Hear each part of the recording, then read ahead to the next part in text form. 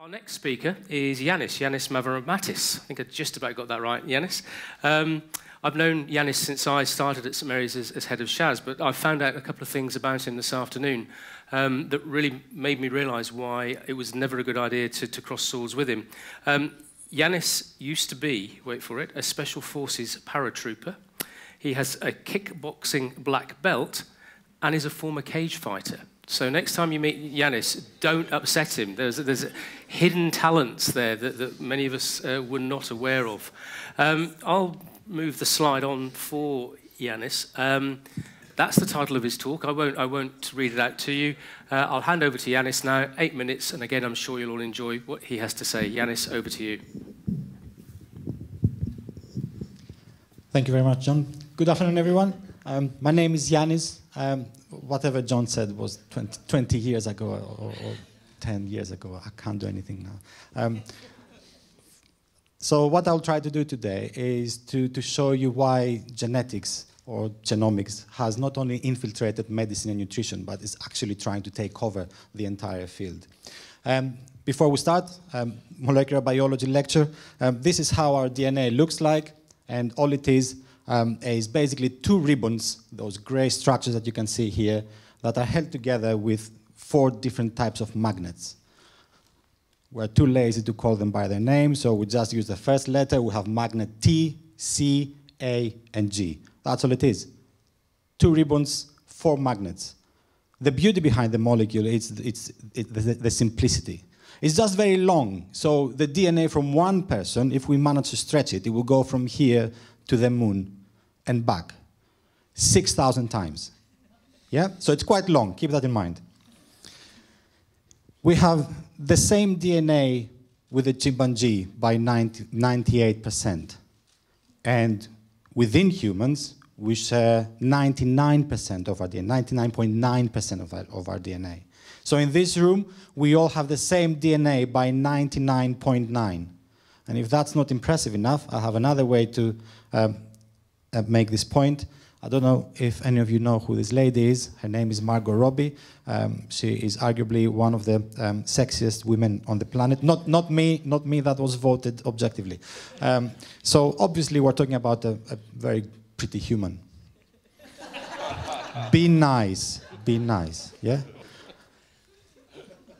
I share 99.9% .9 of my DNA with Margot. If she knew, she would kill herself.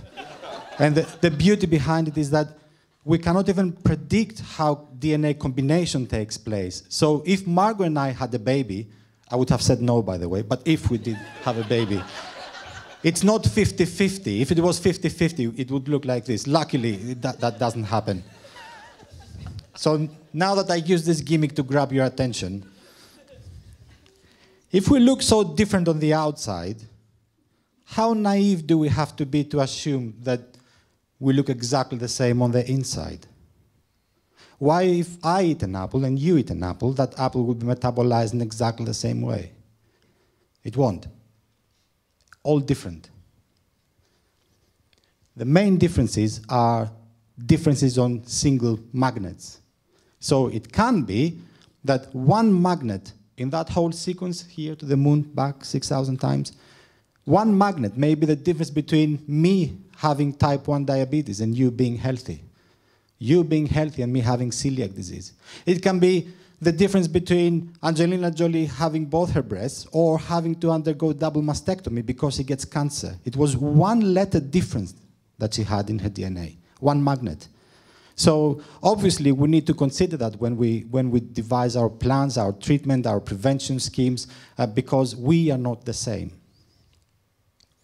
With regards to nutrition, um, we still have the two disciplines. We have nutrition and genetics, but we have two directions. So we have the effects of nutrition on the DNA and the opposite.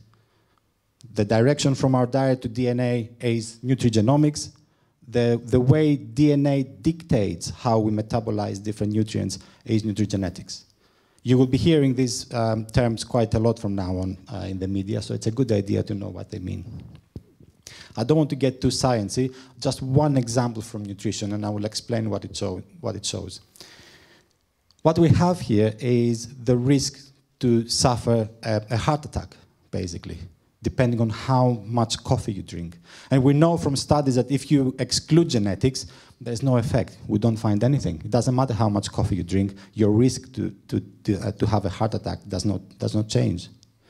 If you do include genetics, however, it looks a bit different. So if I have an A magnet in a specific position in my DNA, it doesn't matter how much coffee I consume. Zero cups, one cup, two to three, four or more.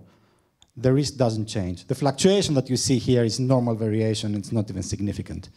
If, however, instead of an A magnet, I have a C magnet or two C magnets, then my risk to develop, to, to have a heart attack increases the same in proportion to my coffee consumption.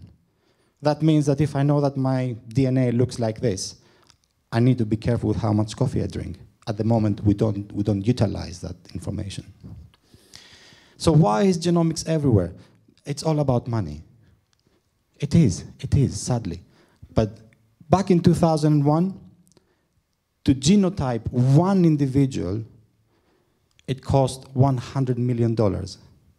Now, it's less than $1,000. Um, $1, this is the projection, how people believed back then that the price would drop with time. And science beat that projection quite substantially. So back in 2001, you needed to have walk-in computer rooms to analyze one person's DNA. Now, you have this USB stick. I have one in my bag if you want to see it. We have five at St. Mary's. And we're not even doing sequencing, just to show you how applied this is.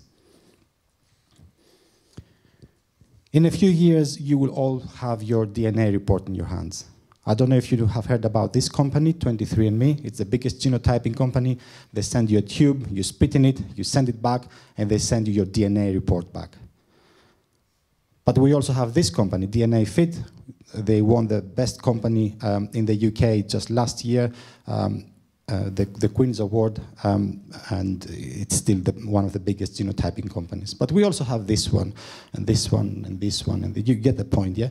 So the, there are so many that we actually have a, a website comparison um, facility, like the Meerkat kind of thing, but without the meerkats.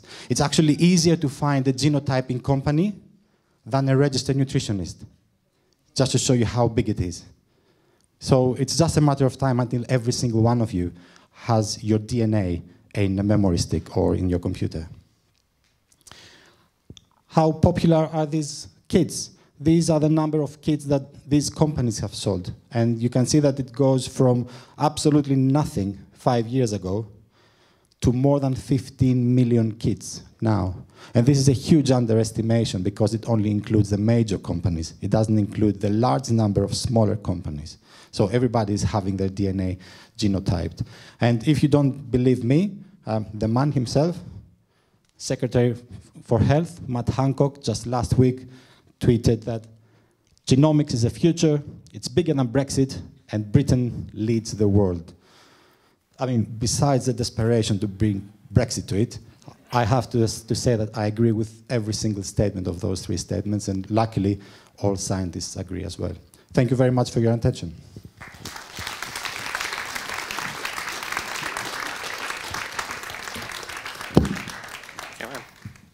I always thought Yiannis was my brother from another mother, and, and now I know that really is the case after that talk. yeah.